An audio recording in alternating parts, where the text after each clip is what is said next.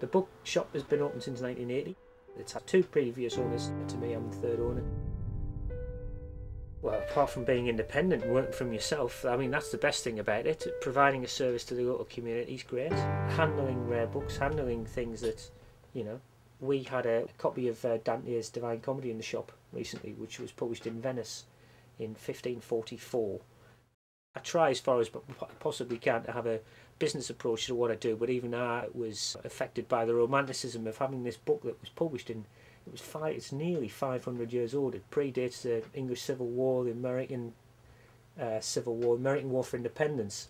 It, uh, you know, somebody walked into a bookshop on some plaza in Venice, and and in 1544 and, walked out of the shop with this book under their arm, and that book travelled. It's had a 500 year history and ended up in a bookshop in the northeast of England. Uh, we do have uh, antiquarian books in the shop. Um, we sell everything from pound paperbacks right through to books that are worth, you know, hundreds of pounds. We get people coming from all over the country. We get uh, people who go on book buying trips around the country. We get dealers from Australia, the States, Germany coming into the shop. There's a romanticism attached to bookshops.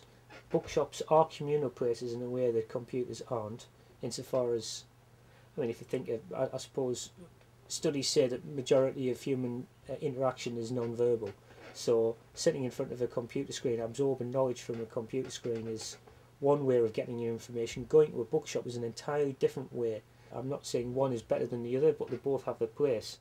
I think it's a bit of a misnomer that as well the people surf the internet. They, they don't really. They go looking for a specific piece of knowledge, they find it, and then they get out.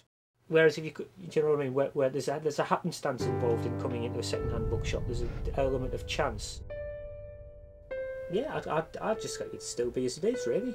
Um, probably have to expand the online trade, but yeah, I, I, I like the shop as it is, and uh, and I, hope it stays here for another thirty years.